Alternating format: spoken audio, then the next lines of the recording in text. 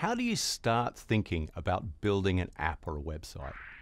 The first step to building a great progressive web app is to think about your audience. Let's break that down a bit. Who is my target audience?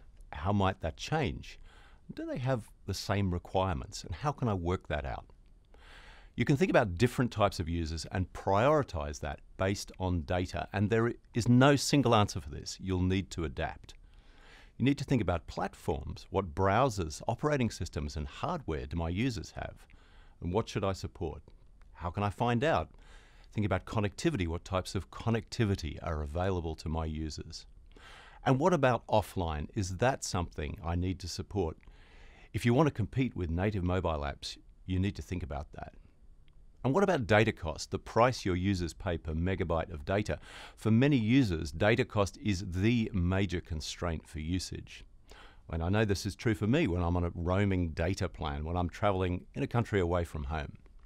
In fact, you'll find that some people don't want to use the web at all because they know that some websites can eat up all their data. And of course, to build a great web app, you need to understand where and how your users will consume your content. Where are they? What are they doing? What's their state of mind? Th this really affects everything from content and interactions to layout and graphic design. You need to think about what you're building. You need to think about performance. What is performance for your users? And what does that mean for them? What is acceptable performance given your target audience or different audiences? And what about usage contexts, connectivity, and data cost constraints? How can I quantify that? you need to build a performance budget.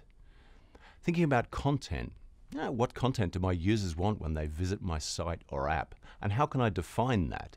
Text, images, media, comments, about pages, you know, contact information, terms and conditions, all that stuff.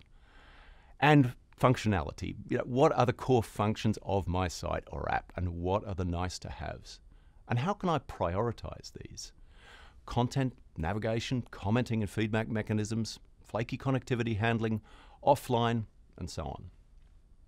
Okay, so now I want you to do some work. I want you to find answers for each of these points. Who is the audience? What platforms are they on? What data cost can they handle?